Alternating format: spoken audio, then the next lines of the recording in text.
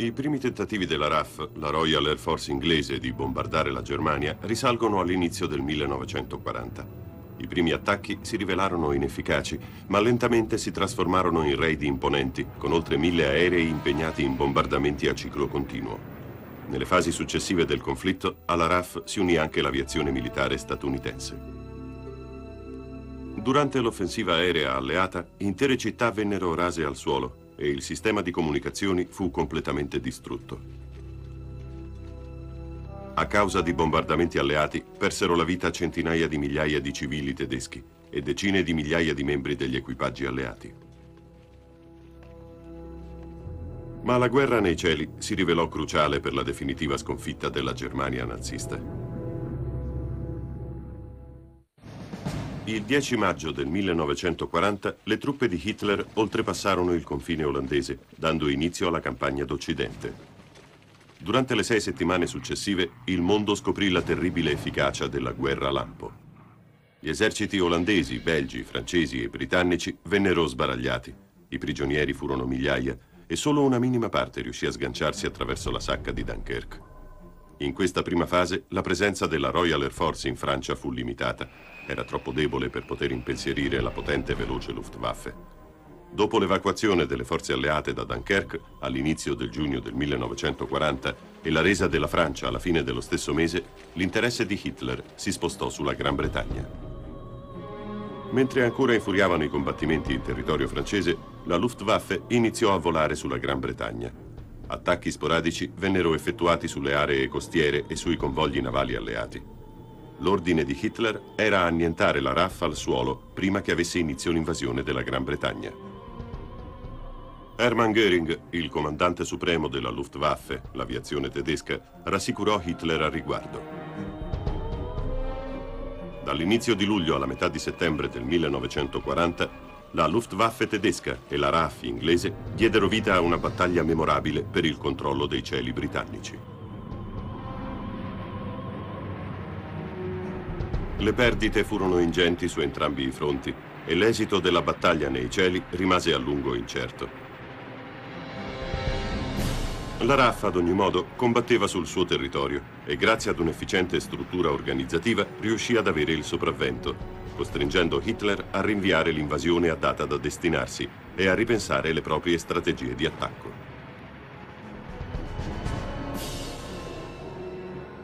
Winston Churchill nacque il 30 novembre del 1874. Militò nell'esercito di Sua Maestà e in seguito si dedicò alla politica.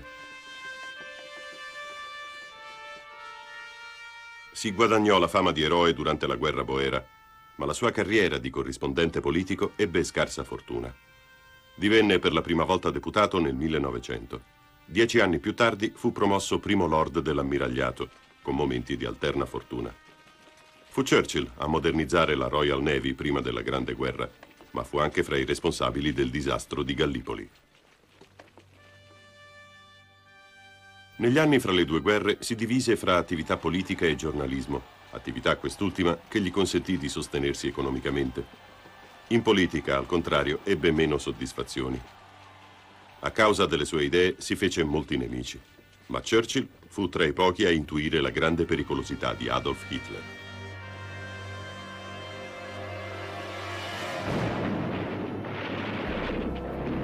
Con lo scoppio della guerra nel 1939, Churchill tornò alla carica di Lord dell'ammiragliato.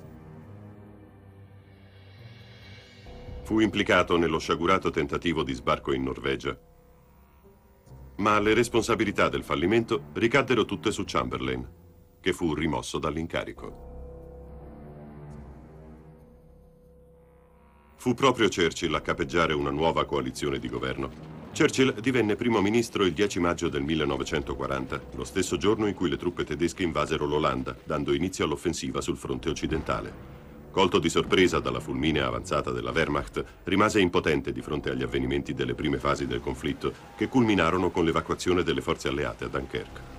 Churchill ad ogni modo fu capace di risollevare le sorti della nazione, instillando negli inglesi grande vigore nei momenti più duri, come quello della fuga da Dunkerque una forza di spirito che si rivelò decisiva nella successiva battaglia d'Inghilterra.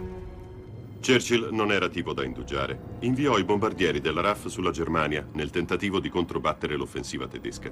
La filosofia di Churchill era quella di reagire ad ogni costo e in qualsiasi modo possibile, strategia che si rivelò una spina nel fianco per Hitler e fece guadagnare tempo prezioso per la riorganizzazione delle forze alleate. Franklin Delano Roosevelt nacque il 30 gennaio del 1882 ed ebbe un'infanzia molto diversa da quella del suo alleato britannico. Crebbe in una famiglia molto unita, ricevendo un'ottima educazione che lo portò a laurearsi ad Harvard. Avere in famiglia un presidente degli Stati Uniti, Theodore Roosevelt, di certo lo influenzò nella decisione di entrare in politica e i suoi sforzi vennero ricompensati. Nel 1910, infatti, divenne senatore. Come Churchill ricoprì diversi incarichi nella Marina militare e prima della Grande Guerra divenne vice ministro della Marina.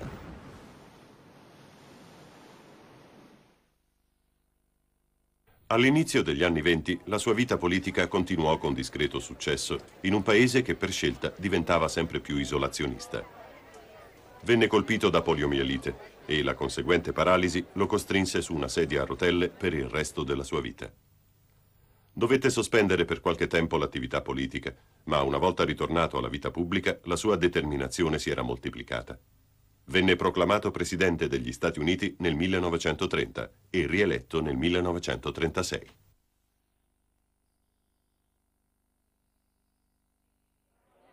Alla fine degli anni 30 la politica di Adolf Hitler cominciò a rivelarsi in tutta la sua pericolosità ma per gli americani si trattava di un problema esclusivamente europeo e l'opinione pubblica era propensa ad evitare ogni forma di coinvolgimento diretto.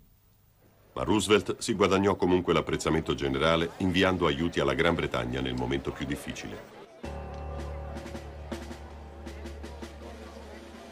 La dichiarazione di guerra di Hitler alla vigilia dell'attacco giapponese a Pearl Harbor il 7 dicembre del 1941 trascinò anche gli Stati Uniti nella Seconda Guerra Mondiale.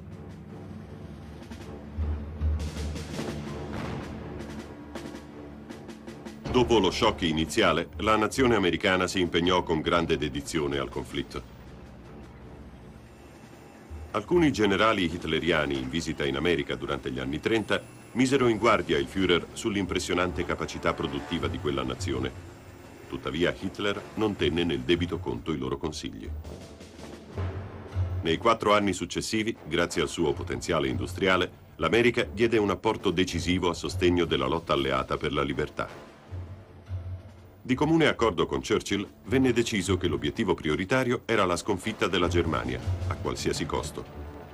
Hitler, a causa degli attacchi sempre più pressanti delle forze alleate, supportati da una nazione le cui risorse sembravano infinite, non riuscì più a rispondere con la consueta ferocia. Purtroppo Roosevelt morì nell'aprile del 1945, tre settimane prima della resa tedesca. Anche a lui vanno ascritti grandi meriti per la vittoria finale.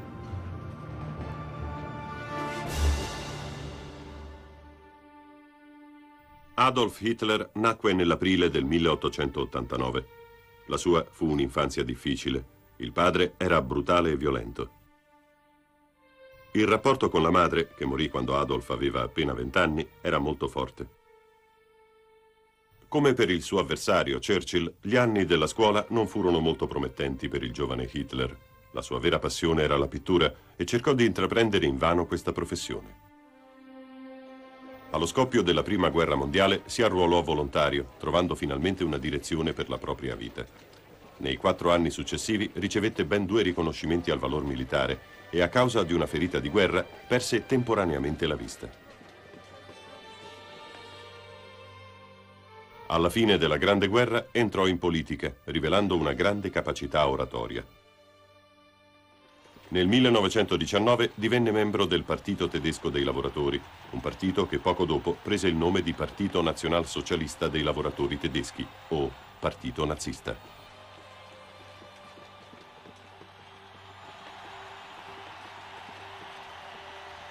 Hitler si considerava il salvatore della patria e nei 13 anni successivi il suo potere e la sua popolarità crebbero costantemente. Dopo un tentativo fallito di rovesciare il governo bavarese nel 1923, Hitler venne imprigionato per nove mesi. Nel 1933 realizzò la sua massima aspirazione, quella di diventare cancelliere tedesco. Senza indugi prese sotto controllo ogni aspetto della vita pubblica tedesca. Negli anni a cavallo tra il 1936 e il 1939, Hitler sfidò le potenze occidentali invadendo territori stranieri confinanti. Il 3 di settembre del 1939, però, l'invasione della Polonia fu un azzardo troppo grande e Inghilterra e Francia dichiararono guerra alla Germania. L'intenzione di Hitler era palese, sconfiggere i propri nemici con la massima rapidità. Tra il settembre del 1939 e il giugno del 1940, polacchi, belgi, olandesi, francesi e inglesi sperimentarono sulla propria pelle la potenza e l'organizzazione della Wehrmacht. Le schiaccianti vittorie convinsero Hitler che la strategia adottata era quella giusta. Con la fuga da Dunkerque di gran parte del corpo di spedizione britannico, l'ultimo ostacolo verso la vittoria finale in Occidente era l'Inghilterra. Hitler sapeva che per raggiungere questo obiettivo era necessario annientare la Royal Air Force. Affidò il compito al capo dell'aviazione tedesca, Hermann Göring. Una volta sconfitta l'aviazione inglese, Hitler pensava che l'invasione della Gran Bretagna non sarebbe stata necessaria. Ma l'ostacolo si rivelò insormontabile. La Luftwaffe di Goering non riuscì a sbaragliare la Royal Air Force e Hitler fu costretto a rinviare l'invasione della Gran Bretagna. Così, nel giugno del 1941, volse la sua smisurata ambizione verso la sterminata Unione Sovietica. La decisione di iniziare un'impresa di quella portata, senza essersi prima sbarazzato della Gran Bretagna, si rivelò un errore madornale, che costò molto caro a Hitler nei quattro anni successivi e contribuì in modo significativo alla sconfitta della Germania nel 1945.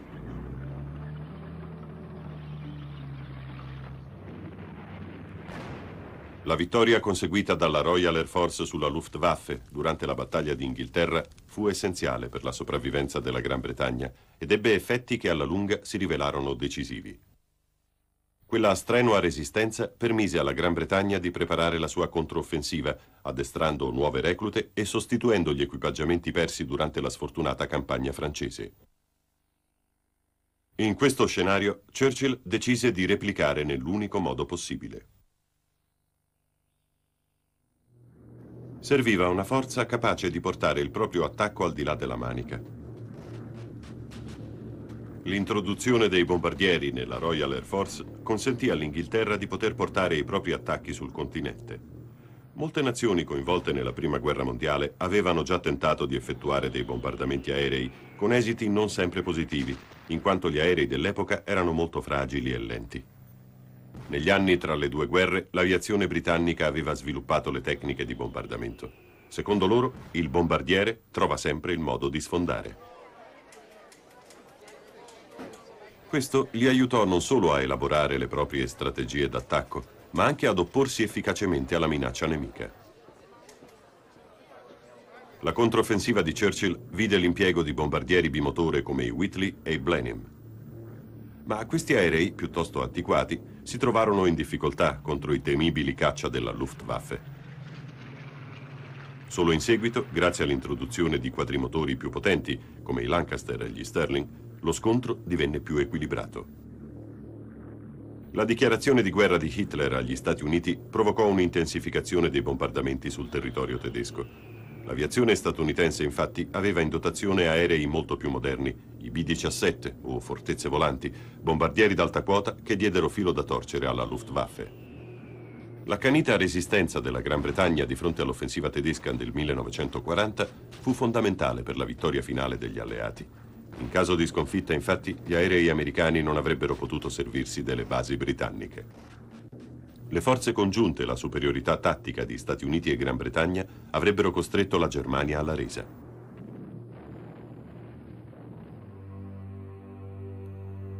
La posizione geografica della Germania non facilitava le strategie difensive. La situazione politica all'inizio del XX secolo comportò l'accerchiamento della Germania da parte dei suoi potenziali nemici, alcuni dei quali disponevano di ottimi eserciti.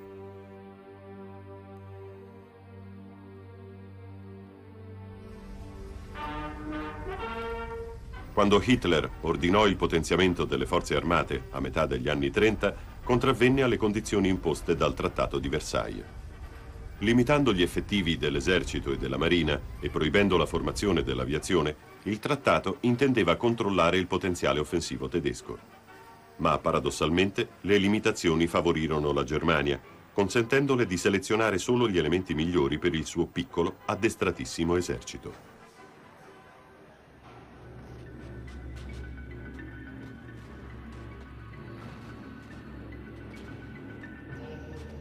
Hitler preferiva le strategie d'attacco, ma era conscio del pericolo rappresentato dai suoi nemici.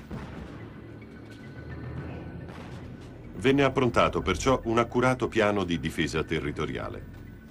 La battaglia nei cieli si sviluppò attraverso una lunga serie di offensive e controoffensive. I primi raid inglesi diurni in territorio tedesco ebbero risultati disastrosi. Si optò dunque per attacchi notturni che non sortirono risultati migliori a causa di speciali unità approntate dai tedeschi per la caccia notturna. Queste squadriglie ebbero un buon successo contro i bombardieri nemici, costringendo gli inglesi a diminuire l'intensità dei propri raid aerei. Con l'entrata in guerra degli Stati Uniti, i bombardamenti ripresero su larga scala, a ciclo continuo, notte e giorno i tedeschi studiarono dei sistemi radar più sofisticati, in grado di intercettare gli aerei nemici per tempo. Ma grazie alla forza dei numeri, i bombardieri alleati riuscirono ugualmente a far breccia nelle difese tedesche. Prima che la Germania venisse definitivamente sconfitta, a causa dei sistemi di difesa tedeschi, le perdite di uomini e armamenti tra le fila alleate furono gravissime.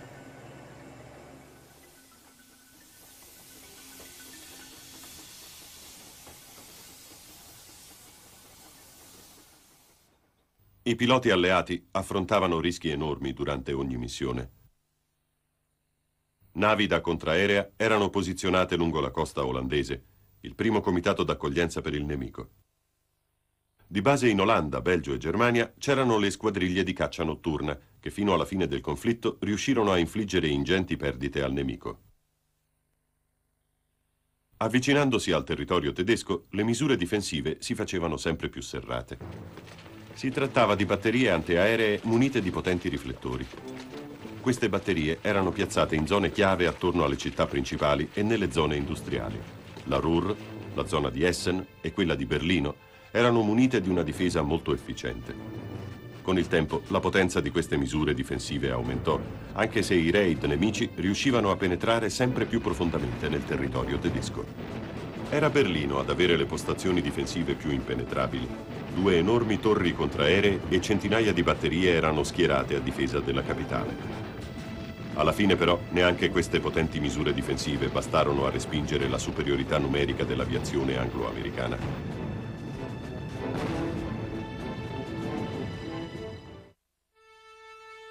La nascita della Royal Air Force risale al 1912, con la formazione dei Royal Flying Corps dell'esercito.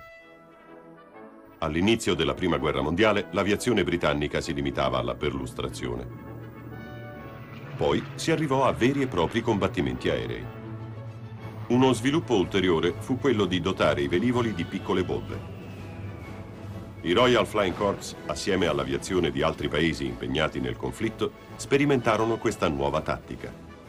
I primi combattimenti aerei vedevano coinvolti aerei molto fragili, niente a che vedere con i velivoli dei decenni successivi, a guardarli erano piloti temerari che grazie alla loro abilità si guadagnarono il rispetto di tutti.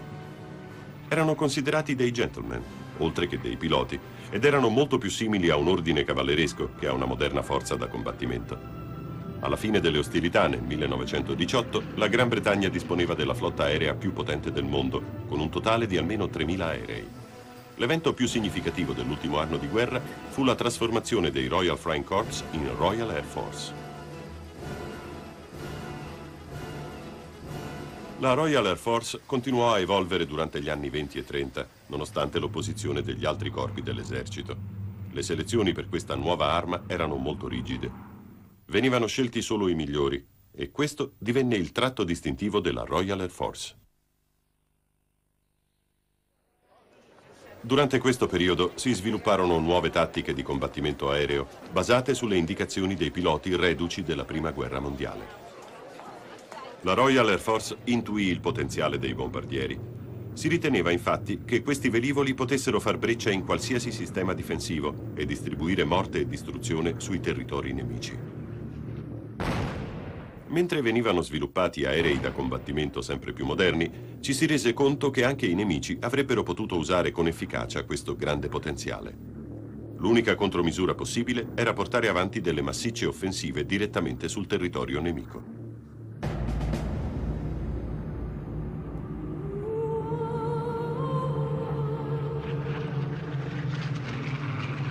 La Royal Air Force iniziò a sviluppare i nuovi aerei durante la seconda metà degli anni 30 e dal 1936 l'impegno produttivo raggiunse il suo apice.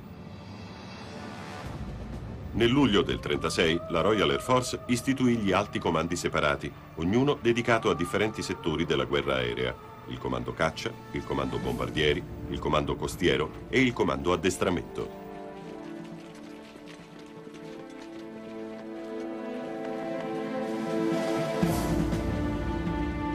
Con l'aggravarsi della situazione sul continente venne data priorità alla fabbricazione dei caccia. Il comando dei bombardieri si oppose decisamente, ma quella decisione permise alla Gran Bretagna di ottenere gli strumenti per conseguire l'importantissima vittoria nella battaglia d'Inghilterra del 1940. Fu proprio grazie a quella vittoria che fu possibile potenziare in un secondo momento la flotta dei bombardieri. In questa fase del conflitto non era ancora chiaro cosa sarebbe potuto accadere alla Gran Bretagna, un periodo che viene tuttora ricordato come uno dei più bui nella storia inglese.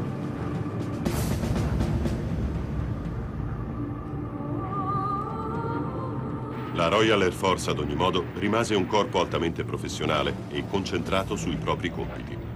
L'obiettivo era uno solo, sconfiggere la Germania.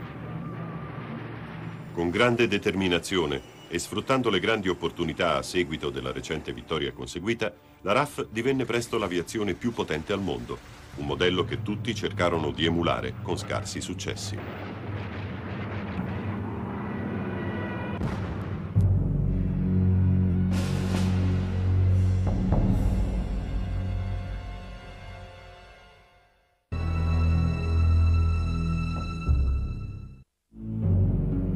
Anche gli Stati Uniti utilizzarono per la prima volta gli aerei per un impiego militare negli anni precedenti alla Prima Guerra Mondiale.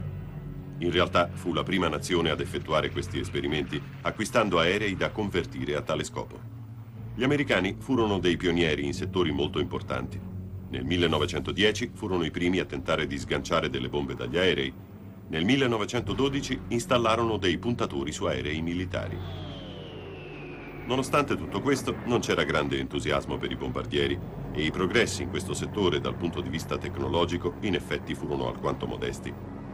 L'America istituì la US Air Army, ma l'aviazione, allo scoppio della Prima Guerra Mondiale, disponeva di soli 20 aerei da combattimento. Dal 1917, data della loro entrata in guerra, al 1918, gli Stati Uniti potevano schierare in Europa circa 740 aerei militari, malgrado non furono mai direttamente impegnati in combattimento.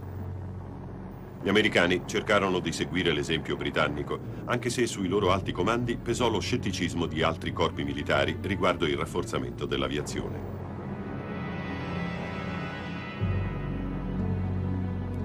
Comunque, nell'immediato dopoguerra, l'intero potenziale delle forze armate americane visse una grande escalation che portò ad un notevole ampliamento della propria aviazione militare.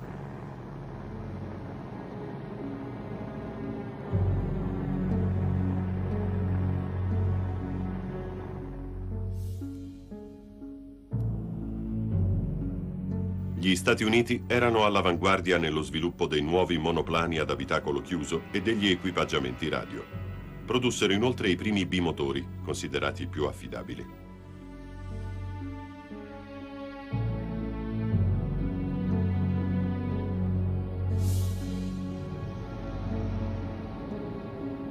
All'inizio della guerra in Europa, gli Stati Uniti erano una potenza mondiale anche dal punto di vista militare.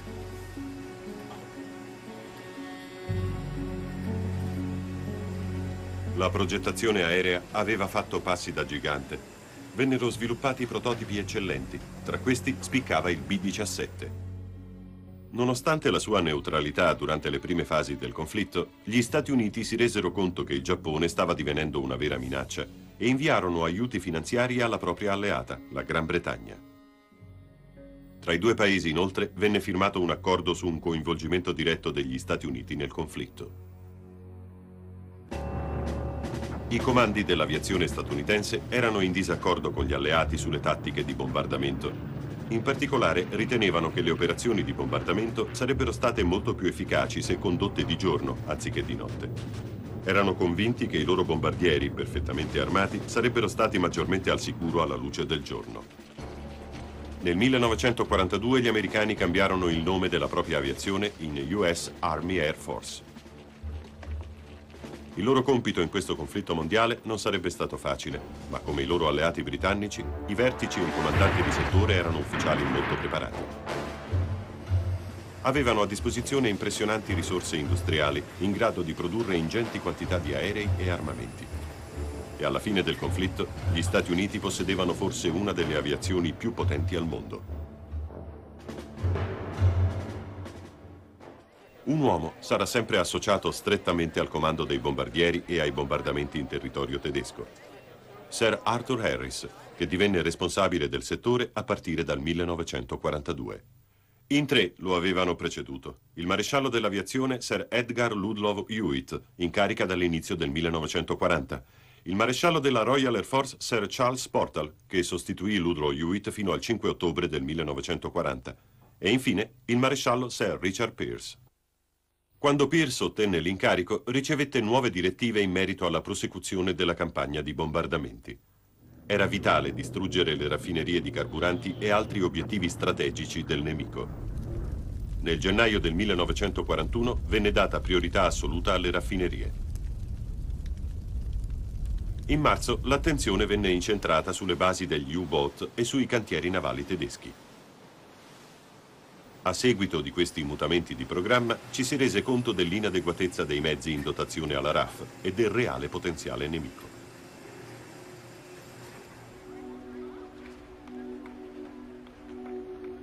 In questo stesso periodo vennero intrapresi i primi attacchi su obiettivi civili. Vista la poca precisione su piccoli obiettivi, si riteneva che questa tattica avrebbe dato maggiori frutti. Nel novembre del 1941, Pierce fu il supervisore del raid più massiccio operato sino a quel momento, che vide impegnati ben 392 aerei. Obiettivo Berlino, la capitale tedesca. Alla fine del 1941 la campagna di bombardamenti subì un brusco ridimensionamento in conseguenza degli scarsi risultati ottenuti. Come si temeva, i bombardieri non erano così efficaci e le perdite si rivelarono insostenibili. Nelle alte sfere vennero decise importanti modifiche che avrebbero trasformato completamente le future campagne di bombardamento degli alleati. E nel gennaio del 1942 Pierce fu trasferito a dirigere le operazioni in Asia. A metà febbraio del 1942 Sir Arthur Harris fu nominato nuovo maresciallo dell'aviazione militare, carica che mantenne sino al termine del conflitto in Europa. Poco prima della sua nomina venne decisa una nuova strategia, il bombardamento d'area, che comprendeva attacchi su aree densamente popolate piuttosto che su specifici obiettivi militari. Lo scopo era di fiaccare il morale del popolo tedesco.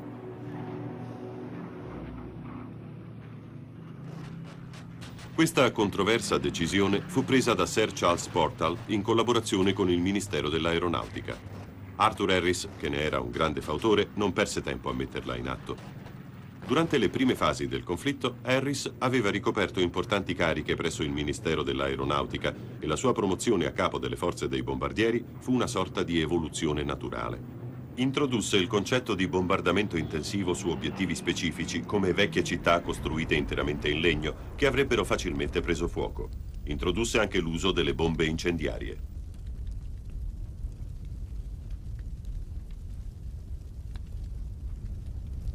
Harris divenne noto come il macellaio un soprannome appropriato, in quanto fu uno dei maggiori responsabili della morte di oltre mezzo milione di civili tedeschi. Ma prima di raggiungere questo obiettivo, visse alcuni mesi particolarmente difficili.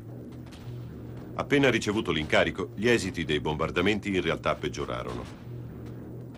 Ci volle del tempo perché gli equilibri volgessero in favore delle forze alleate. Dal 7 dicembre del 1941 il mondo è diventato più piccolo. I suoi equilibri politici sono stati fortemente alterati. Questo fenomeno, disastroso per i nostri nemici, ci obbliga a porgere un doveroso tributo al valore dell'aviazione americana, ai suoi operatori e a tutto il personale dell'aeronautica militare. Il generale Harry H. Arnold nacque il 25 giugno del 1886. Divenne ufficiale dell'esercito americano nel 1907. Nel 1911 si unì ai Signal Corps e di lì a breve prese il brevetto di pilota militare. I Signal Corps possedevano una scuola di volo e Arnold divenne uno dei suoi istruttori. Durante la Prima Guerra Mondiale ricoprì incarichi amministrativi, ma negli anni 20 e 30 scalò rapidamente i vertici militari, fino a diventare nel 1938 comandante dei corpi dell'aviazione. Verso la fine del 1940 fu promosso capo di Stato Maggiore dell'Aeronautica e nel 1941 ottenne la carica di comandante supremo dell'aviazione militare. All'inizio di quello stesso anno gli americani si recarono in Gran Bretagna in qualità di semplici osservatori. Con l'entrata in guerra degli Stati Uniti, lo sforzo congiunto di entrambi i paesi fu mirato a realizzare delle basi aeree in Inghilterra, di cui Arnold divenne il responsabile. Qui operò l'ottava armata dell'aviazione. Fu Arnold a scegliere personalmente i suoi comandanti. L'aviazione ha giocato un ruolo decisivo per la vittoria finale. Anche in tempo di pace sarà importante che l'America continui a disporre di un aiuto fondamentale, l'aviazione più potente del mondo. Il generale Arnold fu una figura chiave durante tutto l'arco del conflitto, al termine del quale divenne generale a 5 stelle. Voi tutti americani potete contribuire al mantenimento della libertà e della sicurezza mondiale per la quale stiamo combattendo, acquistando titoli di Stato. Il generale di squadra aerea, Ira C. Hicker, nacque il 13 aprile del 1896. Alla fine del 1917 divenne ufficiale di fanteria. Nel corso del conflitto prese il brevetto da pilota e nel dopoguerra ricoprì diverse cariche nel corpo dell'aeronautica. Era specializzato nella tecnica e negli aspetti sperimentali del volo.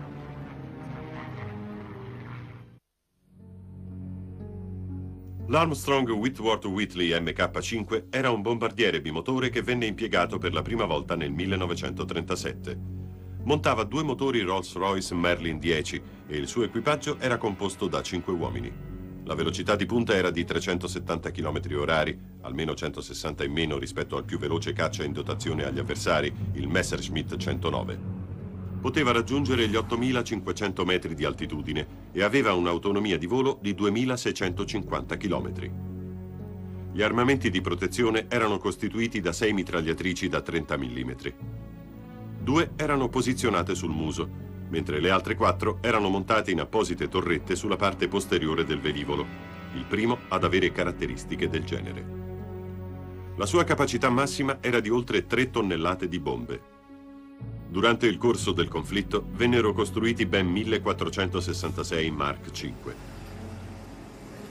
Allo scoppio della Seconda Guerra Mondiale, il Whitley era uno dei bombardieri più usati dall'aviazione britannica.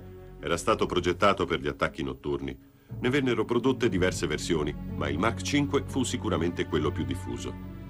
Era un aereo da guerra molto più lento rispetto ai quadrimotori di più recente concezione, facile preda dei velocissimi caccia della Luftwaffe. Durante i primi raid in territorio tedesco, molti di questi aerei vennero abbattuti con grande facilità.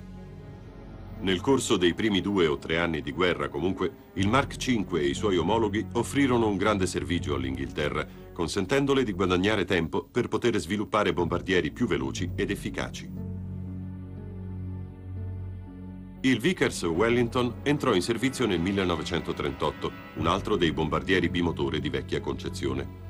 Montava motori Rolls-Royce Merlin e raggiungeva una velocità di punta di circa 430 km orari e ospitava un equipaggio di sei persone. Il Wellington poteva operare fino a quasi 8.000 metri di altitudine, con un'autonomia di 3.500 km. Aveva in dotazione quattro mitragliatrici da 30 mm, due sulla parte anteriore e due in quella posteriore. Il carico massimo era di 2 tonnellate di bombe. Il Wellington, chiamato affettuosamente Wimpy, l'imbranato, dai membri dell'equipaggio, era probabilmente il miglior bombardiere bimotore in dotazione alla Royal Air Force all'inizio della Seconda Guerra Mondiale. Venne impiegato in modo massiccio durante i primi bombardamenti in territorio tedesco, compreso il primo e famoso raid dei mille bombardieri.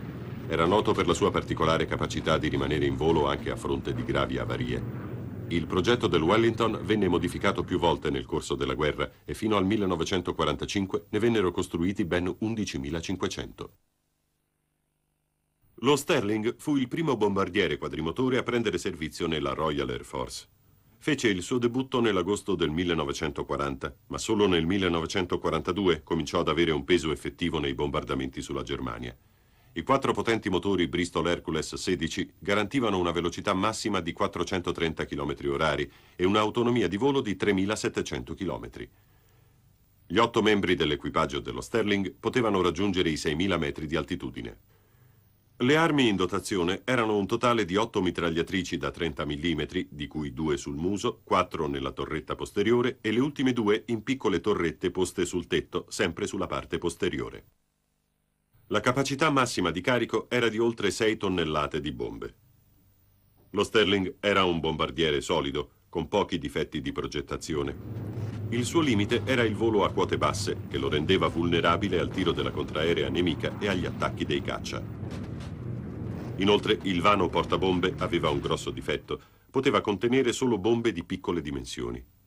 Fino alla fine della guerra vennero costruiti circa 1630 bombardieri Sterling. Lavro Lancaster fu il bombardiere di punta della Royal Air Force durante la Seconda Guerra Mondiale. Entrò in servizio all'inizio del 1942. I suoi quattro motori Rolls-Royce Merlin 20 potevano raggiungere una velocità di punta di 450 km orari e 6.500 metri di altitudine, con un'autonomia di volo di quasi 2.800 km. L'equipaggio era formato da sette uomini. Aveva in dotazione otto mitragliatrici da 30 mm, la loro disposizione era affine a quella dello Sterling, due sul muso, quattro sulla coda e le due ultime sulla parte posteriore del tetto. Il carico massimo di bombe superava le 8 tonnellate. Il Lancaster è senza dubbio uno degli aerei più famosi di ogni tempo. Il suo progetto si richiama a quello dei primi bombardieri bimotore. Modifiche effettive furono portate solo alla capienza di carico per gli ordigni e alla autonomia di volo che venne incrementata. Gli equipaggi lo amavano per la robustezza, la manovrabilità, l'eccellente disposizione delle mitragliatrici e la grande capacità di carico. Durante l'arco della guerra vennero costruiti 7300 Lancaster. Fu introdotto nel 1942 e prestò servizio sino alla fine del conflitto. Il suo apporto fu fondamentale in quanto proprio da questi aerei vennero trasportati più della metà degli ordigni sganciati in territorio tedesco dalla RAF. Il Boeing B-17G, o Fortezza Volante, venne impiegato per la prima volta a metà degli anni 30 per la difesa delle coste. Possedeva quattro motori Wright Cyclone R1820 che garantivano una velocità massima tra i 460 e i 520 km orari. L'equipaggio era formato da 8 o 10 membri e poteva raggiungere un'altitudine di 12.000 metri. Aveva un'autonomia compresa fra 3.000 e 4.000 km. I primi modelli montavano 8 mitragliatrici da 30 o 50 mm, ma in quelli successivi il loro numero complessivo venne portato a 11. Il carico totale poteva raggiungere le 8 tonnellate di bombe. La Fortezza Volante fu il bombardiere più usato dall'aeronautica americana durante la Seconda Guerra Mondiale. Le sue prime versioni vennero impiegate nei bombardamenti diurni, ma si trovò subito in difficoltà contro i caccia della Luftwaffe. I modelli successivi aumentarono la quantità di armamenti presenti a bordo, consentendo una efficace difesa a 360 gradi. Il B-17G è la sua versione più conosciuta. In tutto l'arco del conflitto vennero prodotti un totale di 8.680 B-17. Gli americani fecero anche un largo uso del Consolidated B-24 Liberator, che entrò per la prima volta in servizio effettivo nel 1939. La propulsione era garantita da quattro motori Pratt Whitney R1830 che sviluppavano una velocità di punta di 480 km h L'attitudine massima era di quasi 11.000 metri, con un'autonomia di volo di 4.580 km. L'equipaggio era formato da 10 persone. A bordo c'erano 10 mitragliatrici da 50 mm e il carico massimo di bombe era di quasi 6 tonnellate. Il Liberator fu impiegato in missioni di diverse tipologie, difesa delle coste, bombardamenti e addestramento. Ne vennero costruiti 18.500 esemplari, più di qualsiasi altro bombardiere nella storia. I primi bombardamenti in territorio tedesco erano stati un azzardo e risultarono estremamente imprecisi. Quando all'inizio del 1942 Harris, soprannominato il bombardiere, fu promosso capo del comando dei bombardieri, ereditò e mise in atto la campagna dei bombardamenti per aree, così controversa e dibattuta anche dopo la fine del conflitto. Per ottimizzare l'uso dei bombardieri venne deciso di colpire direttamente obiettivi civili, infliggendo severe perdite umane al nemico. E infatti, durante questi raid, persero la vita migliaia di operai, indispensabili per la produzione di guerra tedesca, un colpo terribile per tutta la nazione. Harris era un fautore di questa nuova tattica e si adoperò perché venisse messa immediatamente in atto. Mai prima di allora erano stati effettuati bombardamenti su tale scala e le implicazioni a livello morale erano gravissime. Il piano fu reso noto solo ad alcuni alti ufficiali e ai piloti veniva detto che si trattava di obiettivi di grande importanza militare. Oltre 600.000 civili tedeschi rimasero uccisi sotto i bombardamenti per aree degli alleati. Con l'entrata in guerra degli Stati Uniti, la situazione per la Germania si fece sempre più critica. Venne concordata una strategia di bombardamenti a ciclo continuo. Gli inglesi avrebbero continuato con i loro attacchi notturni, mentre i raid americani si sarebbero svolti di giorno. All'inizio gli inglesi avevano proposto degli attacchi notturni congiunti, ma gli americani rimanevano convinti dell'inefficacia dei raid notturni.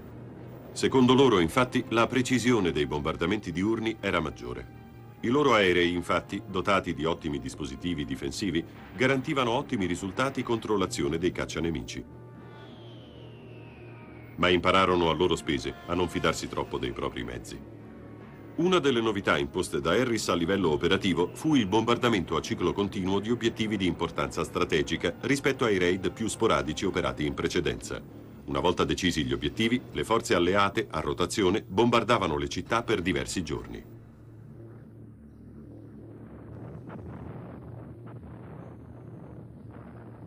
Durante la prima fase venivano sganciate tra le 2 e le 4 tonnellate di bombe ad alto potenziale esplosivo che dovevano creare grandi crateri. In questo modo si sarebbero intralciate le operazioni dei mezzi d'emergenza. A questa prima ondata seguivano delle bombe a minore potenziale con l'obiettivo di infrangere i vetri delle finestre e divellere i tetti delle case. Nella fase finale si sganciavano le bombe incendiarie. Queste dovevano provocare degli incendi che divampavano facilmente grazie al flusso d'aria creato dalle finestre e dai tetti divelti. Questi incendi si sviluppavano spesso in modo inarrestabile. I primi obiettivi infatti furono vecchie città i cui edifici erano in larga parte costruiti in legno. Era ciò che venne chiamato tempesta di fuoco. Le fiamme si estendevano senza ostacoli, causando danni spaventosi. Molti civili morirono asfissiati. Un altro accorgimento era lo sgancio di mine a scoppio ritardato che avrebbe ostacolato le squadre di pompieri. Grazie a queste strategie si diffuse il terrore nelle città tedesche. Almeno un terzo dei civili rimasti uccisi durante l'intera campagna di bombardamenti in territorio tedesco caddero durante queste operazioni.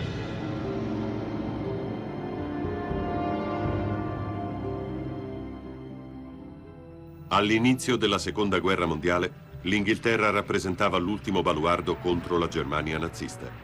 La strategia britannica fu determinata dalle circostanze, finché il destino portò al coinvolgimento americano nel conflitto. La situazione per gli alleati era difficile. All'entrata degli americani in guerra, le forze comandate da Hitler avevano conquistato gran parte dell'Europa, arrivando addirittura alle porte di Mosca. Gli alleati si trovarono a fronteggiare una situazione critica. Era molto difficile riprendere l'iniziativa e in quella situazione di estrema incertezza qualsiasi azione appariva giustificata. L'obiettivo comune era la volontà di opporsi al nemico e di combatterlo con ogni mezzo a disposizione nell'assoluta incertezza sulla reale potenza dell'esercito tedesco. Ma non ci volle molto prima che scoprissero il vero potenziale delle forze a disposizione di Hitler, forze che avrebbero inflitto ingenti perdite all'aviazione alleata.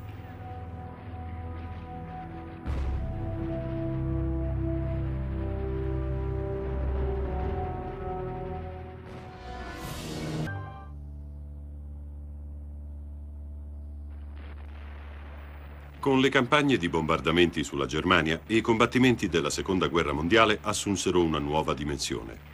Era un altro tipo di guerra, la guerra totale, che aprì un'era selvaggia, governata da una spietata tecnologia.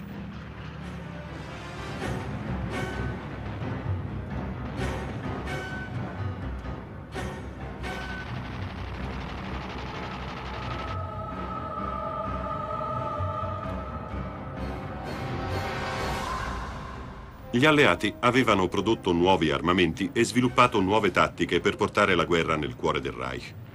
I tedeschi furono costretti alla difensiva nel disperato tentativo di proteggere le loro città così vulnerabili.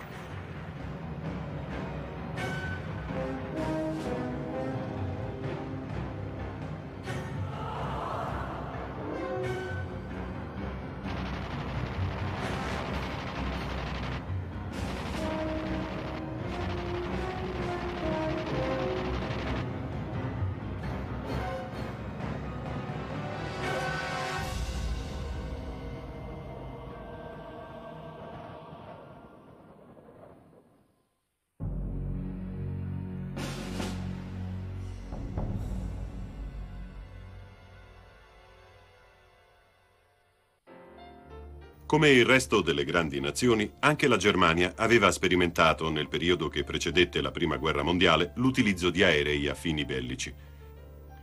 Allo scoppio del conflitto, la Germania impiegò gli aerei principalmente per la ricognizione e per localizzare le artiglierie nemiche. Non possedendo veri e propri aerei militari, furono impiegati i dirigibili, che presto avrebbero svolto funzioni differenti. I dirigibili passarono sotto il controllo diretto dell'aviazione militare e in seguito vennero usati per bombardare i territori nemici. Gli aerei dell'epoca erano estremamente lenti. I dirigibili, invece, molto più veloci, avevano la possibilità di operare ad altitudini maggiori e possedevano una maggiore autonomia di volo. Con l'evolversi del conflitto, gli aerei divennero molto più veloci e iniziando a disporre di efficaci armamenti per la difesa e l'offesa, resero i dirigibili sempre più vulnerabili. Nel 1917 erano ormai obsoleti e gli alleati ne abbattevano con sempre maggiore frequenza. Furono proprio i tedeschi a sviluppare per primi i bombardieri che andarono a integrare i caccia già in produzione. Dell'aviazione tedesca della Prima Guerra Mondiale sarà sempre ricordato un personaggio, il barone von Richthofen, tristemente famoso come il Barone Rosso. Questo asso dell'aria abbatté 80 aerei fin quando non venne abbattuto il 21 aprile del 1918.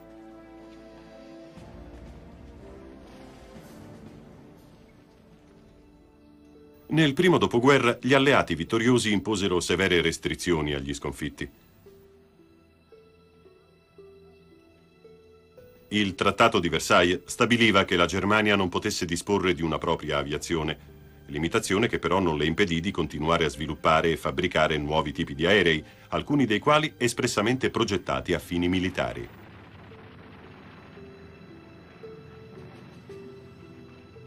Quando Adolf Hitler salì al potere nel 1933, il riarmo della Germania ebbe un'impennata repentina. All'inizio le operazioni rimasero avvolte dal segreto di Stato, ma dal 1935 proseguirono in modo esplicito. Nel 1936 la neonata Luftwaffe fece il proprio debutto nella guerra civile spagnola. Per i tedeschi fu un ottimo banco di prova per testare i propri aerei di nuovissima concezione e le nuove tattiche di guerra. Alla fine della guerra civile spagnola, nel 1939, la Luftwaffe disponeva di un nucleo di piloti perfettamente addestrati alle battaglie aeree. Negli anni successivi allo scoppio della Seconda Guerra Mondiale, la Luftwaffe venne ulteriormente potenziata e nel settembre del 1939 poteva vantare una flotta di quasi 3.000 aerei. All'inizio del conflitto la Luftwaffe possedeva ottime tattiche di combattimento che vennero messe in atto durante le guerre lampo in Polonia e sul fronte occidentale. La guerra civile spagnola aveva messo in risalto alcune debolezze che vennero corrette adeguatamente. Nonostante l'alto comando della Luftwaffe non fosse propriamente all'altezza dei compiti, tra i suoi ranghi operavano uomini capaci ed estremamente competenti che avrebbero permesso alla Luftwaffe di ottenere vittorie sensazionali durante i primi anni di guerra. Le insufficienze dell'aviazione tedesca divennero evidenti solo a conflitto inoltrato, quando era ormai troppo tardi per porvi rimedio. Nonostante i tentativi di opporsi ai raid aerei alleati, il destino dell'aviazione tedesca era ormai segnato. Gli alleati avrebbero prevalso sulla Luftwaffe grazie alla loro schiacciante superiorità numerica. La Luftwaffe fu sconfitta, ma le sue vittorie nella prima fase del conflitto rimangono il simbolo di una perfetta cooperazione tra forze di terra e aviazione. I piloti del Reich, a est come a ovest, incontrarono difficoltà sempre crescenti, ma rimasero fino alla fine decisi e determinati, al pari dei loro omologhi alleati.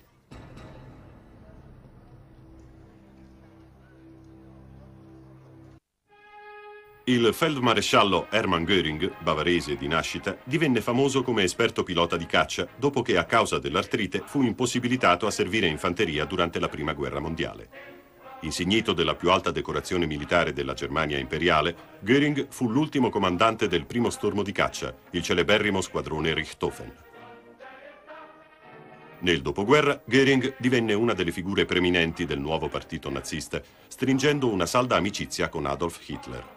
Ferito durante il fallito putsch di Monaco nel novembre del 1923, Göring continuò a essere una figura di primo piano del partito. Dal 1933 ricoprì la carica di ministro degli interni durante il primo governo di Hitler. Quando nel 1935 il Führer annunciò la creazione della Luftwaffe, Göring fu nominato comandante in capo. Göring era un uomo dal fisico massiccio, egocentrico e molto vanitoso, tratti che furono alla base del suo fallimento. Ma nessuna di queste caratteristiche si manifestò durante i giorni trionfanti della guerra civile spagnola e dell'invasione della Polonia. In queste operazioni, infatti, la Luftwaffe sbaragliò qualunque avversario. Fu solo quando si trovò di fronte alla determinazione e il valore dei piloti della RAF durante la battaglia di Inghilterra che cominciò a incrinarsi l'aura di invincibilità che circondava la Luftwaffe. Da quel momento in poi i rapporti fra Göring e Hitler divennero molto tesi, sfociando a volte in aspri contrasti. Di fronte alla possibilità di una minore influenza sul Führer, Göring iniziò a fare promesse insostenibili. Nessuna bomba, dichiarò, sarebbe mai caduta su Berlino e affermò che la sesta armata circondata a Stalingrado sarebbe stata rifornita dagli aerei della Luftwaffe. Il suo comportamento divenne sempre più eccentrico e sviluppò una forte dipendenza dalla droga. Poco a poco Goering cominciò a trascurare i propri doveri e a causa del suo comportamento la Luftwaffe pagò un prezzo molto alto. A seguito di una telefonata a Hitler nell'aprile del 1945, in cui manifestò la volontà di proporsi come successore del Führer, Göring venne imprigionato per alto tradimento, privato di tutte le sue onorificenze e cariche ed espulso dal partito. Si arrese agli americani l'8 maggio di quello stesso anno e nel 1946, al processo di Norimberga, pronunciò un'appassionata autodifesa. Condannato all'impiccagione per crimini di guerra, Goering si suicidò con il cianuro poco prima dell'esecuzione, il 15 ottobre del 1946.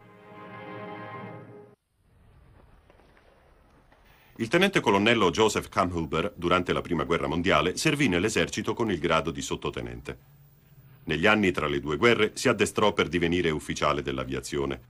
Diventato pilota nel 1933, fu uno dei pochi ufficiali dell'esercito ad essere assegnato alla Luftwaffe, all'epoca ancora un corpo clandestino. Da quel momento fino allo scoppio della Seconda Guerra Mondiale, perfezionò il suo addestramento come pilota da caccia notturna. Nel 1937 divenne capo del settore organizzativo. Prestò servizio attivo durante le campagne d'Occidente del 1940, quando venne abbattuto e catturato dai francesi, Venne rilasciato dopo la resa della Francia. Al suo ritorno in Germania, il colonnello Kamhuber venne posto a capo della divisione caccia notturni della Luftwaffe. La prima divisione caccia notturni venne formata il 20 luglio del 1940. All'inizio vennero impiegati gli ME-109, presto sostituiti dagli ME-110.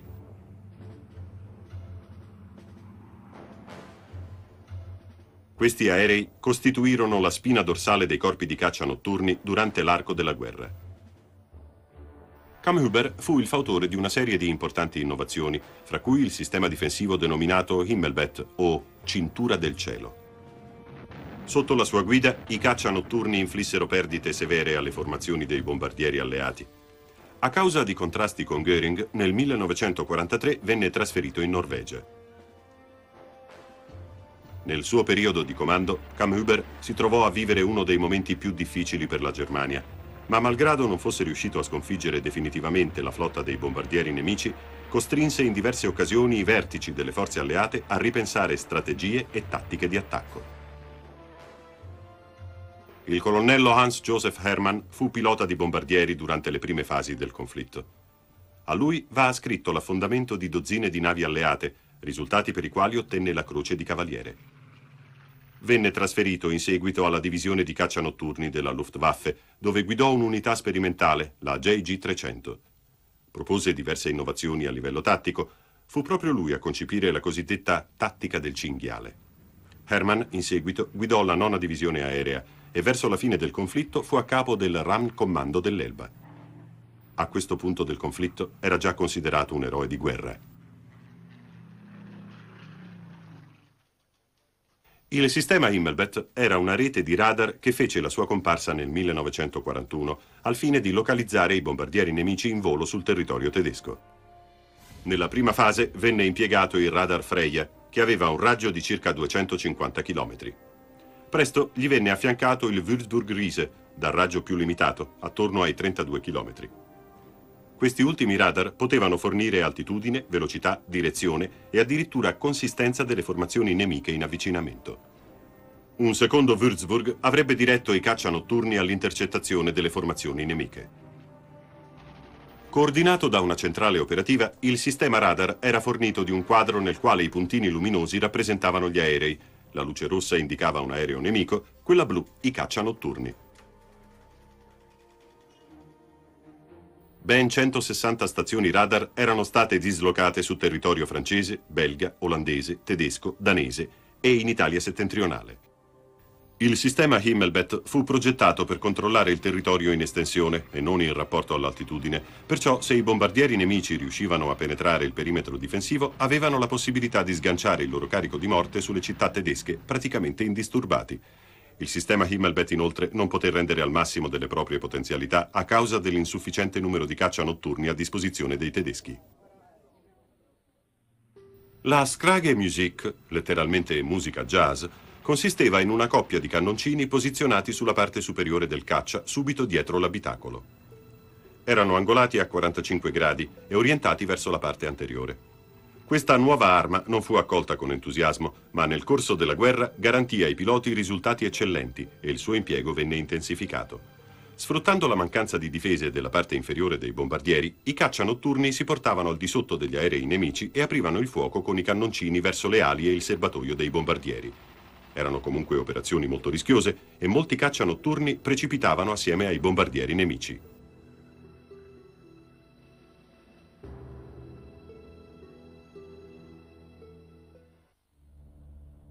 Il sistema Helle Nachtjagd o caccia notturna con fari venne introdotto nel 1940 per far fronte al numero sempre crescente di raid alleati sul territorio tedesco si dimostrò la minaccia più seria per i bombardieri nemici e permise di abbattere almeno 2.000 aerei alleati.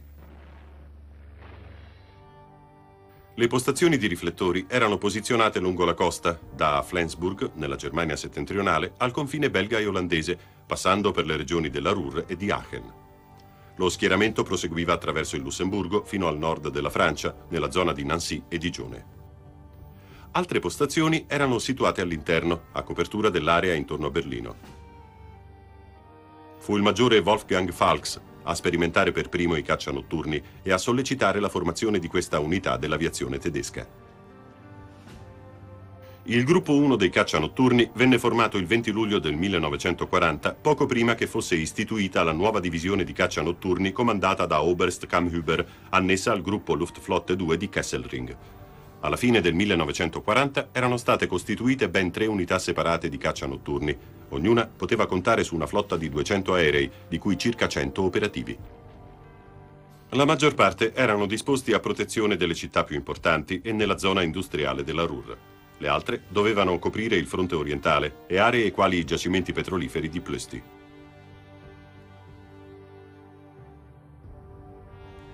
La tattica del cinghiale fu concepita dal maggiore Hermann, il quale consigliò l'impiego di caccia diurni come l'ME-109 e l'FV-190 in operazioni notturne. Dopo alcune prove venne adottata anche sfruttando i recentissimi JG-300 comandati da Hermann.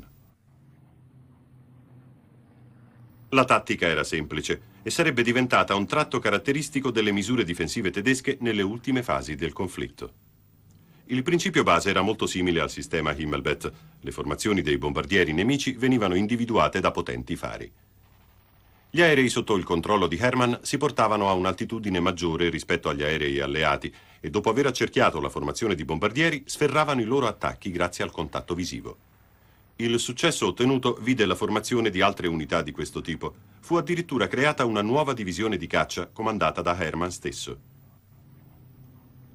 Ma la tattica non riscosse sempre grandi successi. I piloti non erano adeguatamente addestrati per operazioni del genere e i caccia monomotore non erano ideali per le missioni notturne. Il Vernachtjagd, o combattimento notturno a lungo raggio, era una tattica che aveva lo scopo di cogliere di sorpresa il nemico nel momento in cui era più vulnerabile, cioè subito dopo il decollo o sulla rotta verso l'obiettivo. A volte venivano tese delle imboscate mentre i bombardieri facevano ritorno alla base. Questa strategia visse alterne fortune e non fu mai condotta su larga scala, con attacchi massicci di caccia notturni sul continente.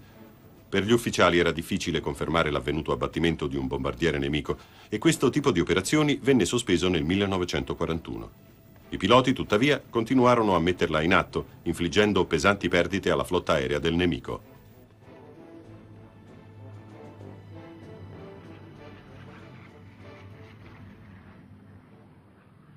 La Mitchwiment, letteralmente nuoto nella scia, fu una tattica impiegata quando le formazioni di bombardieri nemici cominciarono a essere più numerose.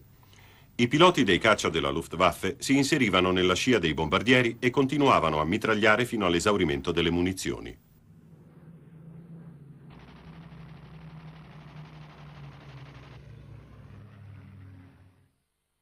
Curiosamente, i caccia notturni vennero impiegati anche durante raid e sortite diurne,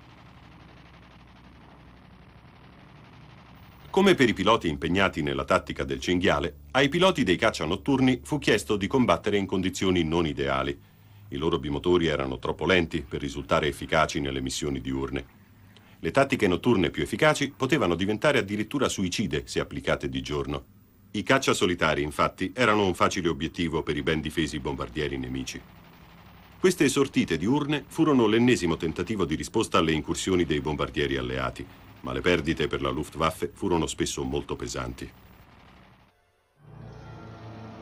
Nelle prime fasi dell'offensiva dei bombardieri, nella Seconda Guerra Mondiale, venne adottata una tattica attendista. Senza dubbio le nazioni che decidono di attaccare deliberatamente obiettivi civili vanno incontro anche a gravi implicazioni morali. Gran Bretagna e Stati Uniti avevano sviluppato negli anni precedenti alla guerra le reali potenzialità dei bombardieri Entrambe avevano la ferma convinzione, in caso di conflitto, che si potesse infliggere un colpo decisivo, un KO dai cieli, decisivo per le sorti del conflitto. La fiducia nella teoria del KO, d'altra parte, permise di sviluppare valide contromisure. Negli anni che precedettero il 1939, la Gran Bretagna compì grandi progressi tecnologici nel settore dei radar e di una caccia aerea veloce e potente.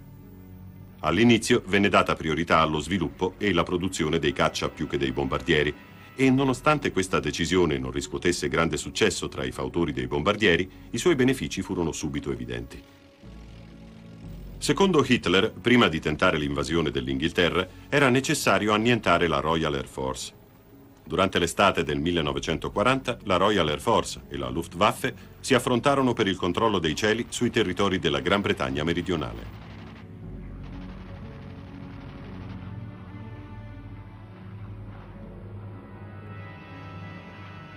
I bombardieri della Luftwaffe attaccavano obiettivi militari come campi d'aviazione e stazioni radar, ma le difficoltà emersero sin da subito.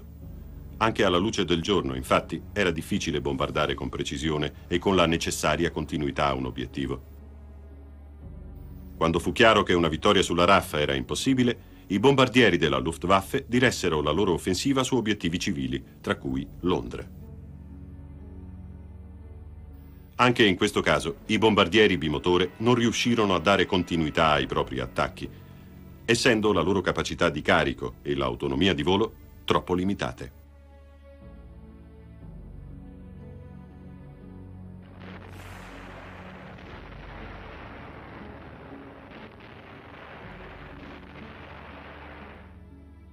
L'incapacità della Germania di sviluppare bombardieri quadrimotore con maggiore autonomia di volo si rivelò decisiva.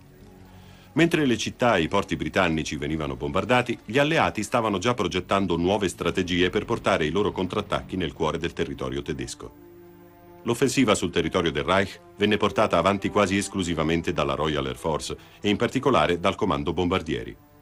Formato nel 1936, il comando aveva a disposizione all'inizio del conflitto ben 53 squadroni, anche se, analogamente alle divisioni tedesche, non tutti erano pienamente operativi. Nel 1941 il numero salì a 58 squadroni e nel marzo del 43 a 62.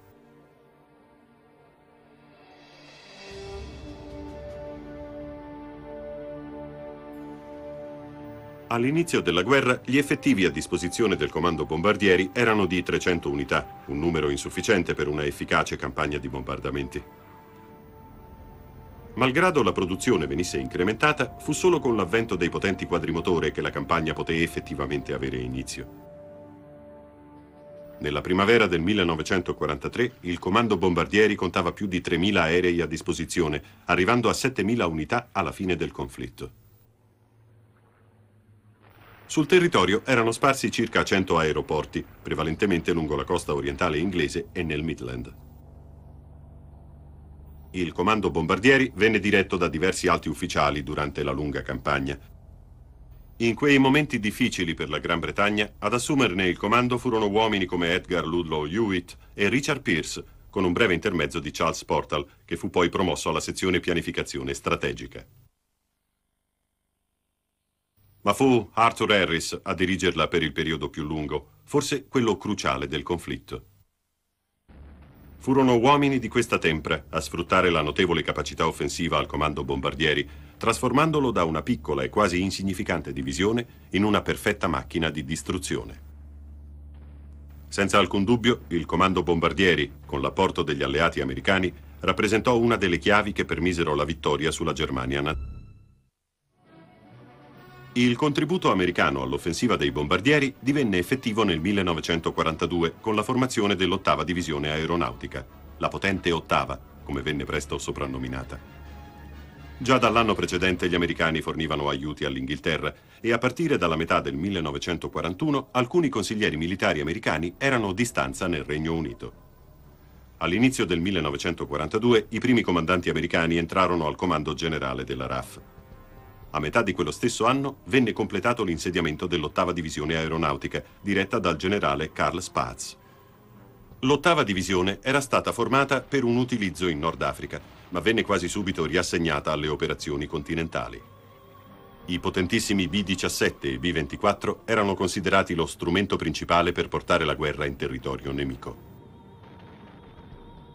Perché ciò fosse possibile, l'ottava divisione doveva essere adeguatamente rafforzata. A questo scopo era essenziale costruire nuove basi aeree in territorio inglese. Le località prescelte erano nei territori dell'East Anglia, a nord-est di Londra.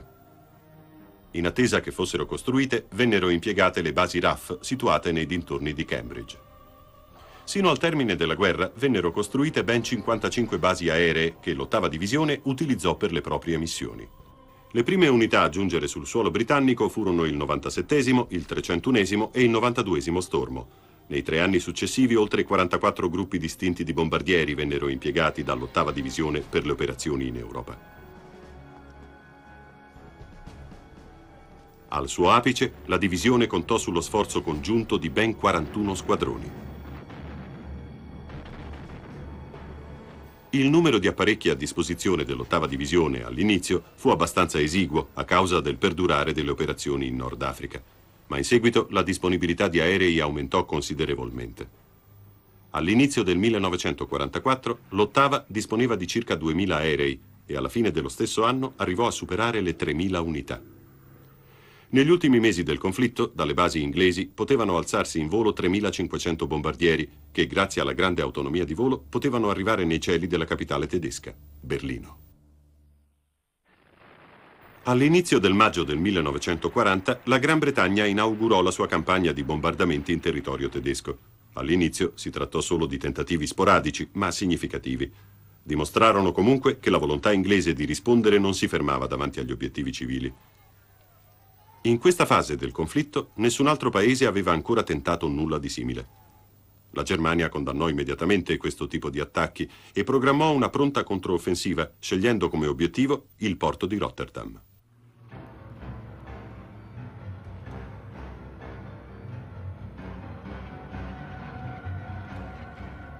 Fu un attacco ferocissimo che intendeva dimostrare che neanche i tedeschi si facevano scrupolo di bombardare un obiettivo privo di ogni sistema difensivo.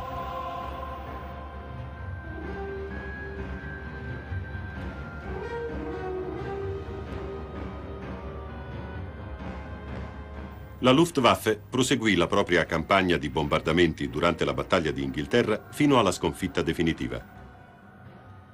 La vittoria britannica dell'estate del 1940 permise all'Inghilterra di procrastinare indefinitamente l'invasione del suo territorio. Ma ora bisognava intraprendere nuove iniziative e dopo le pesanti perdite subite in Francia e durante la battaglia di Inghilterra, le scelte offensive per la Gran Bretagna erano piuttosto limitate.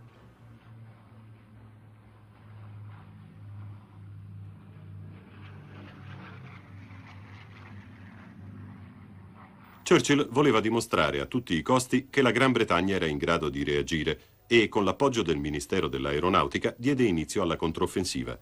Nonostante le difficoltà, nell'agosto del 1940 il comando bombardieri organizzò un raid su Berlino, il cuore della nazione tedesca. Nel corso di quell'anno si alternarono i bombardamenti sui rispettivi territori nazionali. La Royal Air Force, nel frattempo, si concentrava anche su altri obiettivi, come i depositi di carburante. Si trattava comunque di attacchi sporadici e privi della necessaria precisione. Inizialmente il comando bombardieri effettuò dei raid diurni, ma le perdite furono così ingenti, circa il 50% degli effettivi, da rendere necessario un cambiamento di strategia. Nel tentativo di ridurre le perdite vennero programmati dei bombardamenti notturni. La risposta della Luftwaffe non si fece attendere i suoi caccia notturni continuarono a infliggere severe perdite alle formazioni di bombardieri alleati. Durante il 1940 si ebbero ben tre avvicendamenti al vertice del comando bombardieri. All'inizio dell'anno Ludlow Hewitt venne sostituito da Portal, il quale a sua volta venne promosso e rimpiazzato da Pierce. Questi continui cambiamenti di leadership e di tattiche erano il chiaro indizio che le campagne di bombardamento in territorio tedesco non ottenevano i risultati previsti. Nel 1941 la Gran Bretagna cercò in tutti i modi di migliorare l'efficacia delle sue incursioni sul territorio nemico. In marzo cambiarono ancora una volta gli obiettivi. Si scelse di attaccare le basi dei sommergibili e i cantieri navali. L'obiettivo era limitare la produzione di navi e sommergibili tedeschi che avevano affondato centinaia di mercantili carichi di rifornimenti per l'Inghilterra.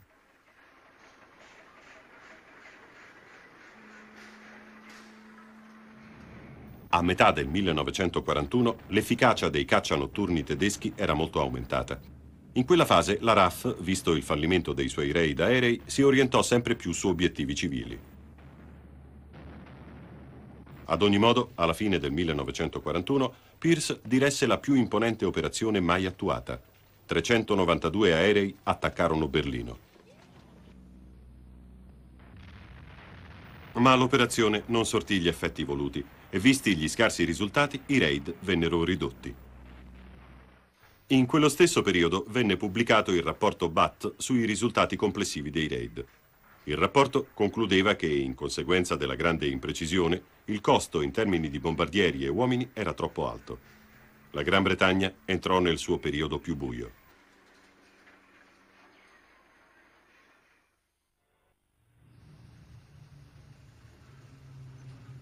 Tra la fine del 1941 e l'inizio del 1942 le sorti del comando bombardieri erano oggetto di accanite discussioni. L'Inghilterra, in rapporto alle sue limitate risorse, era impegnata su tutti i fronti e solo l'entrata in guerra dell'America diede adito a nuove speranze. A metà febbraio del 1942 il comando bombardieri propose una nuova strategia, il bombardamento per aree. Si decise di attaccare le città più densamente popolate, nel tentativo di abbattere il morale del popolo tedesco. I bombardieri però non disponevano ancora della tecnologia necessaria ad uno sgancio più accurato. Si decise dunque di mettere in atto i bombardamenti per area, una più efficace modalità di impiego per i bombardieri. Sempre nel 1942 Sir Arthur Harris sostituì Pierce al vertice del comando bombardieri.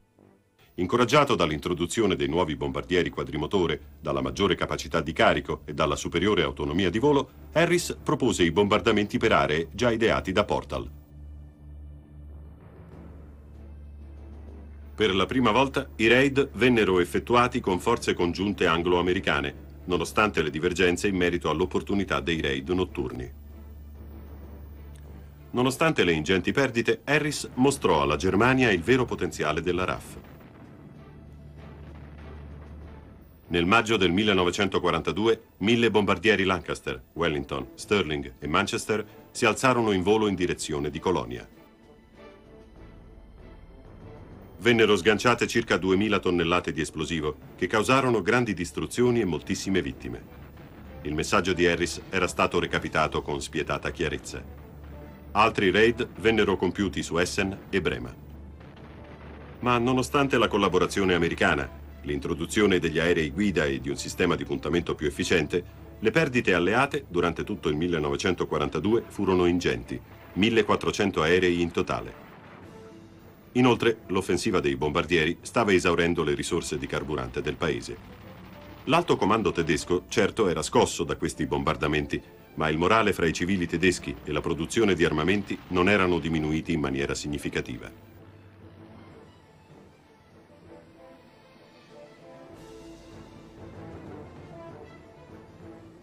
All'inizio del 1943 i leader alleati tennero una conferenza a Casablanca in cui vennero decise una serie di misure per il prosieguo del conflitto. Vennero decisi una serie di bombardamenti a tappeto sul territorio tedesco con divisioni miste anglo-americane. La regione della Ruhr divenne uno dei principali obiettivi e nell'arco di quattro mesi venne pesantemente martellata. Tra questi i famosi raid anti-diga portati da Guy Gibson con l'aiuto di 617 squadroni. Mentre gli attacchi sulla Ruhr volgevano al termine, venne progettata un'altra importante operazione. Ora, in cima alla lista degli obiettivi alleati, figurava la distruzione di un'intera città. Per raggiungere questo obiettivo era necessario il coinvolgimento di tutte le forze aeree alleate e l'impiego di tattiche innovative per contrastare l'opposizione delle misure difensive tedesche. La notte del 24 luglio del 1943 la RAF partì alla volta di Amburgo. La città venne scelta per l'alta densità della popolazione, per i suoi edifici instabili e per la vicinanza dell'obiettivo. Per oscurare i radar tedeschi, gli alleati idearono il sistema delle cosiddette finestre, il lancio di strisce di carta argentata capaci di confondere i sistemi radar. Lo stratagemma apriva una finestra nel sistema contraereo nemico, permettendo ai bombardieri di sganciare indisturbati il proprio carico di morte. Inoltre venne incrementato l'uso di bombe incendiarie, attuando la tattica della tempesta di fuoco. Le tempeste di fuoco causarono un numero di vittime pari a quello ottenuto con esplosivi convenzionali. Il 25 e il 26 luglio fu il turno degli attacchi diurni americani su Amburgo. seguiti, nelle notti del 25 e del 27, dagli aerei della RAF. L'attacco finale venne sferrato il 29 di luglio e ad ogni raid la quantità di incendi aumentò spaventosamente. Le vittime civili furono migliaia e migliaia.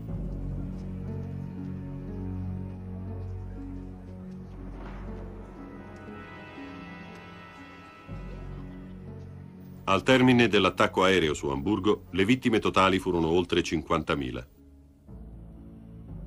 Gran parte della città era distrutta. 400.000 abitazioni erano in macerie. Il sistema di trasporti era paralizzato e più di 700 industrie erano state definitivamente rase al suolo. Circa il 70% della città era ridotto a un cumulo di cenere. La capitale nazista, Berlino, fu l'obiettivo successivo. I raid si susseguirono dall'agosto del 1943 fino al termine dello stesso anno. Harris voleva a tutti i costi proseguire la sua strategia dei bombardamenti per area. Acquisita fiducia dopo le operazioni su Amburgo, si tentò una maggiore penetrazione nel territorio tedesco. Anche gli americani nel 1943 selezionarono altri obiettivi. La loro scelta cadde sulla città di Schweinfurt, dove vennero individuate alcune fabbriche di cuscinetti a sfera fondamentali per l'industria bellica. Si sperava che distruggendo queste fabbriche la produzione di armamenti tedesca subisse un rallentamento. I raid diurni, tipici degli americani, subirono l'inevitabile attacco dei caccia tedeschi e i caccia di scorta, che dovevano difendere i bombardieri alleati, non riuscirono ad opporsi validamente. In quei raid gli americani persero circa il 15% delle forze impegnate. Ancora una volta, le notevoli perdite subite dagli alleati causarono grandi preoccupazioni. Ci si chiese nuovamente se proseguire la campagna di bombardamenti strategici per area. Nonostante le risorse a disposizione degli alleati fossero aumentate a dismisura, le contromisure adottate dai tedeschi si dimostrarono sempre più efficaci. Durante i primi bombardamenti alleati del 1944 le cose sembrarono volgere al peggio. Contro gli esperti piloti da caccia tedeschi, gli alleati subirono perdite ingenti e ancora una volta vennero sollevate obiezioni dagli alti vertici della coalizione alleata. Durante gli ultimi giorni del febbraio del 1944 venne programmato un altro pesante attacco all'industria bellica tedesca. L'operazione Big Week, o Grande Settimana, a fronte degli ottimi risultati conseguiti, provocò però perdite enormi con l'abbattimento di oltre 220 aerei alleati. I caccia tedeschi erano sempre numerosi e lo sbarramento contraereo più efficace. Gli attacchi su Berlino ricominciarono alla fine del 1943 e durante i raid sulla capitale tedesca vennero abbattuti altri 500 bombardieri alleati.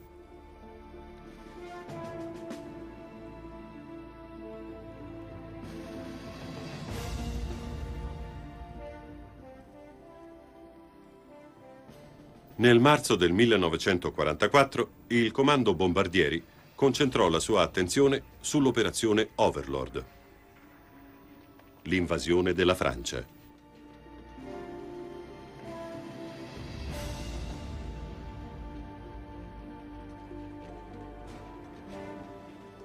Harris si oppose a tale risoluzione, ma fu costretto ad adeguarsi dopo l'intervento diretto di Churchill.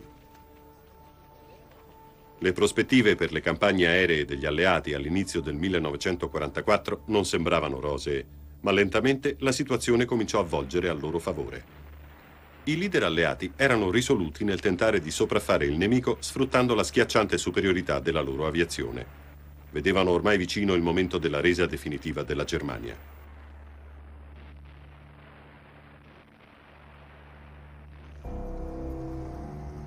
Il numero di aerei a disposizione per i bombardamenti aumentò ulteriormente.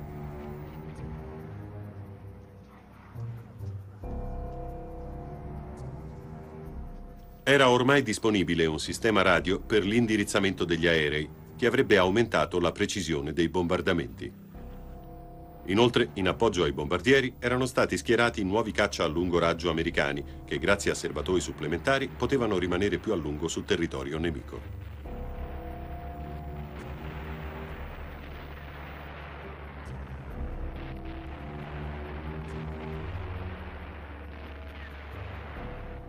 Ora era la Germania ad essere assediata.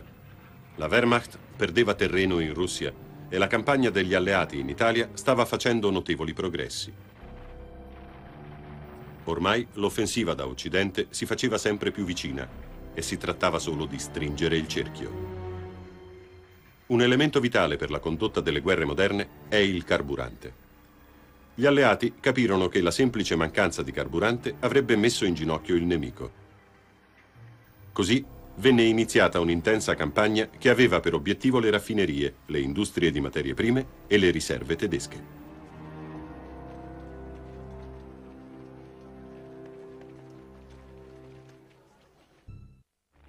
I raid sul Reich cominciarono a diventare più serrati e le città tedesche erano ancora l'obiettivo prioritario. Tra l'11 e il 19 settembre del 1944 Darmstadt venne praticamente rasa al suolo. La RAF diede inizio alle operazioni impiegando la stessa tattica micidiale già sperimentata su Amburgo. Solo nella prima ora di bombardamento le bombe convenzionali uccisero almeno 10.000 civili. Le bombe incendiarie che seguirono svilupparono incendi feroci, addirittura superiori per intensità a quelli di Amburgo. Il risultato fu analogo. Oltre il 50% della città venne distrutto e decine di migliaia di civili persero la vita. Gli attacchi alle infrastrutture del Reich cominciarono a dare i risultati attesi sin dall'inizio del conflitto. Tutti gli elementi essenziali per la sussistenza della Germania venivano colpiti senza pietà. Acqua, carburante, vie di comunicazione e ferrovie. Questo ridusse notevolmente il potenziale bellico della Germania hitleriana.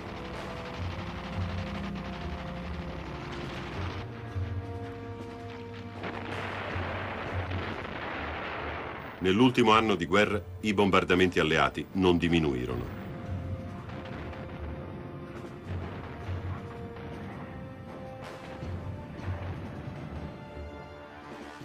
La Luftwaffe cercò di adottare le ultime disperate misure difensive, ma era troppo poco e troppo tardi.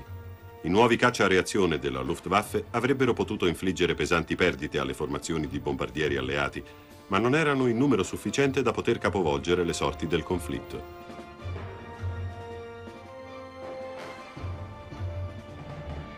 Gli alleati decisero di infliggere un'altra severa lezione su obiettivi civili tedeschi. Nel febbraio del 1945, con la Germania ormai al collasso, la città di Dresda subì uno dei raid più violenti e contestati di tutta la Seconda Guerra Mondiale.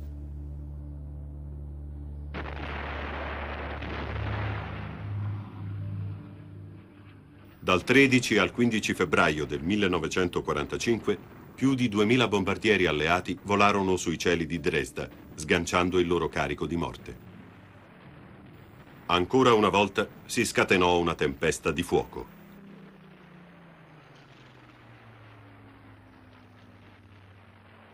Tra le fiamme perirono decine di migliaia di abitanti e di profughi respinti dall'avanzata dell'Armata Rossa a est. Non è ancora possibile fornire una stima esatta del numero di vittime. Ad ogni modo, le cifre parlano di almeno 135.000 civili inghiottiti da un mare di fuoco. Il raid di Dresda fu al centro di molte controversie, in quanto in quella fase del conflitto non era più un obiettivo militare di importanza strategica.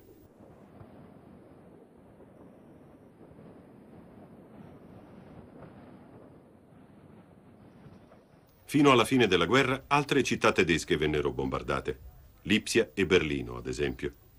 Nel corso di uno di questi raid venne colpita e distrutta la residenza di Hitler a Berlino, la Berchtesgaden.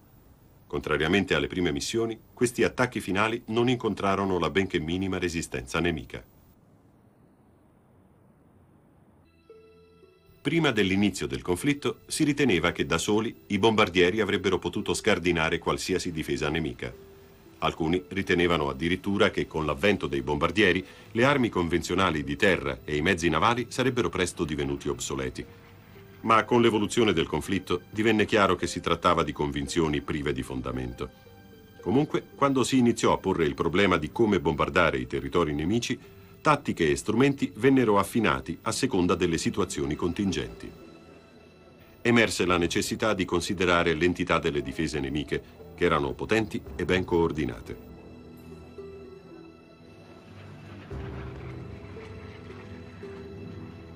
Solo durante l'ultimo anno di conflitto i bombardieri alleati conseguirono quella coordinazione necessaria al raggiungimento di obiettivi specifici.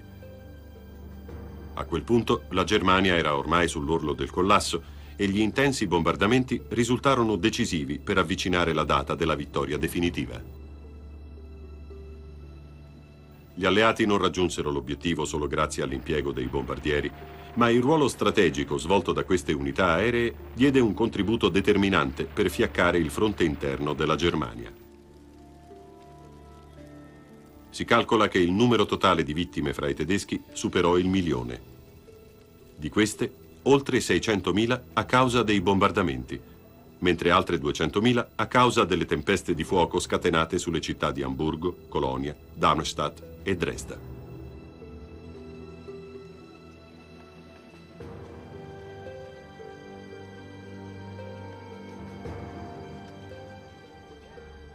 Si stima che circa un milione di tedeschi fosse impiegato nelle strutture difensive del Reich durante il conflitto, una porzione non indifferente delle risorse umane disponibili. Anche le vittime fra gli alleati furono impressionanti. Circa 115.000 morti in totale fra gli equipaggi dei bombardieri inglesi e americani. 17.000 fu il totale di bombardieri alleati abbattuti. Il ruolo svolto dai bombardieri sui cieli della Germania risultò decisivo, anche in vista della risoluzione strategica di altre guerre. Un ruolo che venne confermato durante le ultime settimane del conflitto, quando un singolo bombardiere americano sganciò sulla città giapponese di Hiroshima la prima bomba atomica della storia. L'era atomica iniziò da un bombardiere.